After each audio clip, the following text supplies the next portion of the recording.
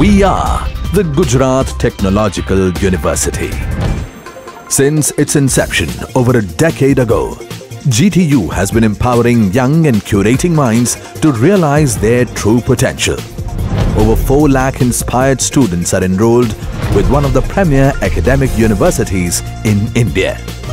With more than 450 affiliated colleges in its fold operating across 5 zones of the state, GTU, the International Innovative University, your place to move forward.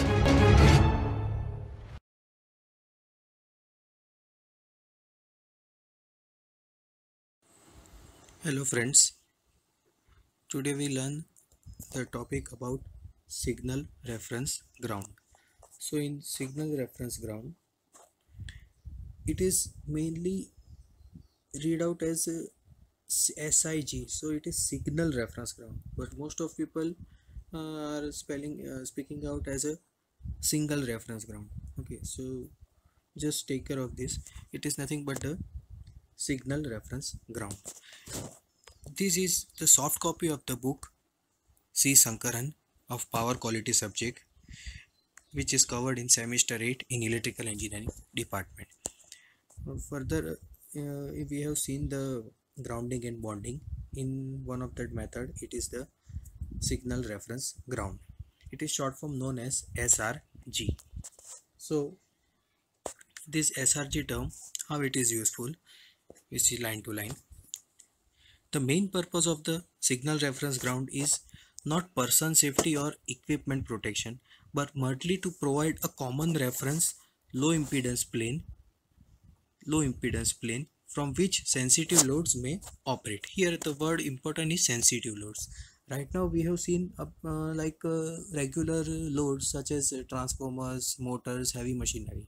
Here sensitive lo- loads we can say it covers the communication equipment so it is mainly used to transfer the data okay so why it is important of uh, these sensitive loads let's see further suppose we have uh, this one figure we have it, it shows the two different uh, micro level circuits sharing with common reference ground. Here ground potential differs due to the excessive ground impedance we have seen in the figure. Uh, and through the communication we are transferring say data or signal from one circuit to another circuit in between these two this is the resistance means it is a rg ground resistance. It is a common reference ground which is grounded through this point. So it shows the two micro uh, the two level micro circuit sharing data and power lines what makes this communication possible is that both devices have a common reference signal which is the ground. Here the common reference signal is which is the ground. Okay. If the reference ground is a high impedance connection then the voltage difference may be created that would affect the point of reference for the two devices. Here suppose it has a high impedance then that might be the possibility that some of the micro uh, small amount of current will create a voltage drop. So it may create a problem in the communication. So better to lowering the impedance between the reference point of the two circuits lower the potential for coupling of noise between the device. Here the term important is called as noise. Why so? Because there are noise means any unwanted signal which come with which comes uh, uh, with our data. Okay why is this so? Because in ideal case what is happening? In ideal case just uh, what we need transfer data from one side to another side.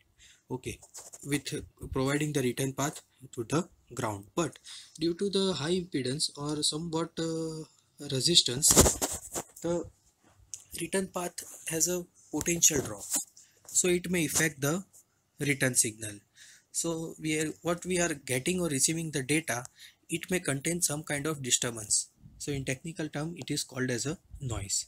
So to avoid that we need to prefer the reference as a low impedance path. When we mention the low impedance we mean low impedance at high frequencies. For power frequency even a few hundred feet of wire can provide a sufficient impedance. But the situation is different at high frequency see high frequency why we are talking about this? Because communication is in terms of megahertz. We know the fm radio okay?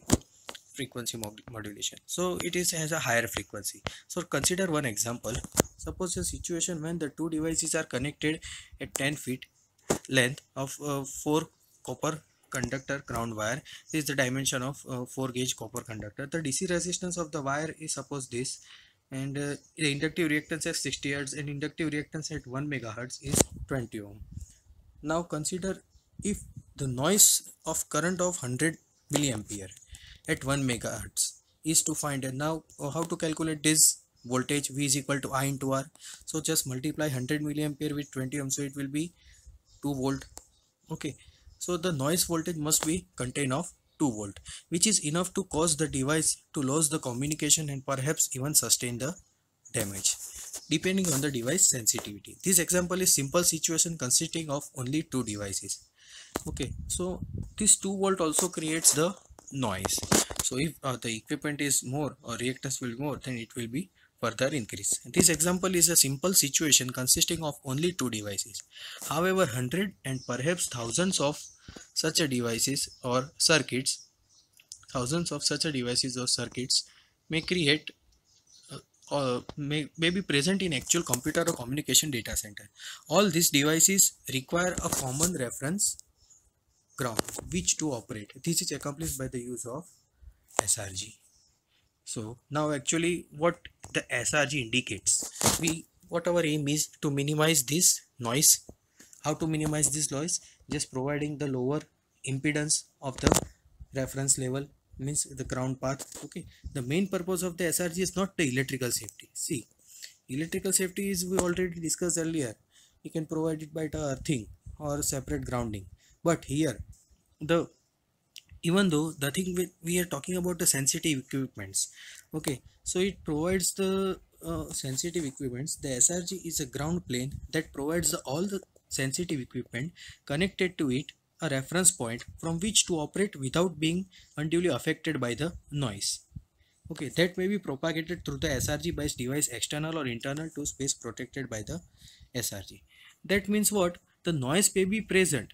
The noise may be present in the SRG but presence of the noise should not result in a voltage differential or current loops of level that could interface with the operation of the device that use the SRG for the reference. What it indicates actually. See the benefit of the keeping the SRG as a low impedance level is that it will contain the noise within itself and it will not transfer it to the communication devices means sending end or receiving end.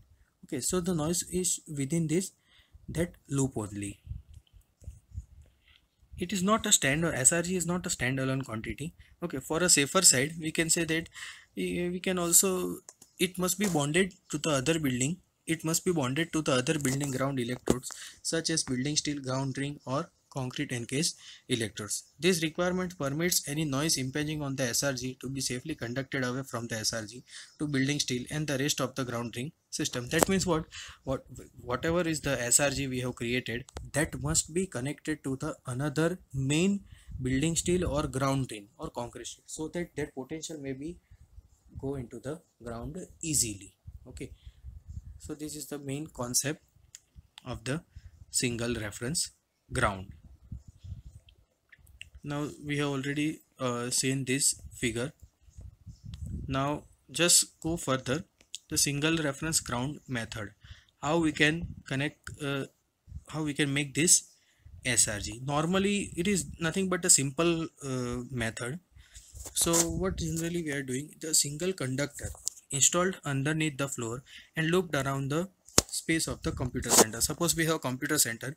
So one conductor is buried underground the floor and hold the a hold the computer areas means connected to that conductor through the loop wires. But the one problem is that as the length of this conductor increases the impedance is increases because r is nothing but rho l by a rho l by a. So just consider this rho l by a equation so as the length increases the resistance will increase so again there will be a problem of noise in the sensitive equipment. Here more detailed example is given here. The two awg means american wire gauge. Okay.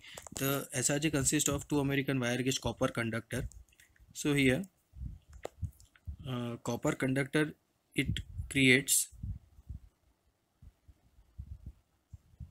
just wait a minute. Yes here here are the two large copper conductor underneath the floor of the communication center from a gate. Distance is 2 by 2 feet.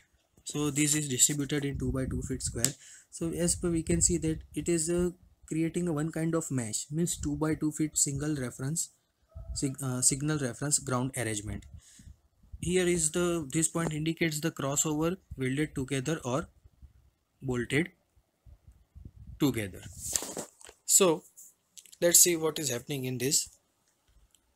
A preferred srg consists of two large conductor laid underground. By creating the multiple parallel path the impedance for the reference plane is made equal for all devices. See here the parallel paths are multiple. So what we are doing? Just we are we need to keep the impedance for same for all the parallel path so for that what we what we are doing here we are just uh, connecting uh, we are just keeping the parallel path same for all the equipment. So SR here single uh, we can say that the multiple the multiple parallel by creating multiple parallel path by creating multiple parallel path the impedance for the reference plane is made equal for all devices and circuits sharing the SRG. If the impedance is measured at any two nodes of the SRG and plotted against the frequency, the shape of the frequency characteristics would appear as shown in figure. Okay, why the we are plotting this uh, graph because uh, see this area is very much large okay? So we need to give the same impedance path for all the equipment sensitive equipment connected to this uh, connected to this signal reference ground. So as per the graph across the any two nodes of this circuit this graph must be remain same. This graph must be remain same. So here the impedance versus frequency graph should appear the same across the two sets of node of the SRG as this is the main objective of the SRG. So there should be no any uh, impedance differs between any devices to the ground. Some of the buildings may prefer the copper strips instead of the circular conductors to form the grid. Other facilities might use the sheets of the copper under the floor of the computer. So the arrangement may vary according to our requirement. Constructing the SRG with a continuous sheet of copper creates a reference plane made up of infinite parallel paths instead of a discrete number of parallel paths as with the SRG made up of a circular wire. Here, what is saying that uh, what they, they are saying constructing the SRG with a continuous sheet of copper creates a reference plane made up of an infinite parallel path instead of a decreased number of parallel path. With the SRG is made up of a circular wire. So circular uh, it is better. Uh, so what differs in this continuous sheet here the sheet means uh, the across whole the area covers ground area covers so it creates a lots of parallel path instead of the proper particular fixed number of parallel path the srg is also bonded to the building steel and the stanchions that supports the raised floor of the computer center so the what the srg this raised center indicates here just see this figure. This is the computer rack okay this is the floor this is the building steel this is the building steel okay. So this figure indicates the area area of all the arrangement see this this is the whole mesh what we have seen earlier what we have seen earlier. This is the raised support for stanchions okay this is the various connections from srg to the ground finishing to the ground. Okay so all the areas are connected srg to the building scenes these are to the other srg ground level. These are the common reference say uh, common reference uh, means uh, signal ground bus. And this is the ground grid systems. So what it says the srg is also bonded to the building steel and the and the stanchions uh, and the stanchions that support the raised floor of the computer center. Such an arrangement provides excellent noise immunity and allows the creation of a good reference plane for sensitive circuit. This arrangement provides the good excellent noise immunity. Here the noise immunity and allows the good reference plane for sensitive circuit. Despite of this srg for large size computer center might be configured. Okay. So these type of methods are used. And also the one uh, take care we should take care we should take care about this. It is important that all noise producing the loads kept away from the srg all the loads kept away from the srg if such a loads are present they should be located at outer periphery of the data center and bonded to the building steel. Okay outer periphery and bonded to the building steel. Here the bonded to the building steel. So it can easily create the load uh, low impedance part because steel is also has, has a separate separate uh, separate copper wire through it is connected to the ground. Okay. So in this way what uh, we can understand from this the signal reference ground methods how we can do that signal uh, that signal reference ground method and what is the importance of that and how it is useful in sensitive equipment. Thank you very much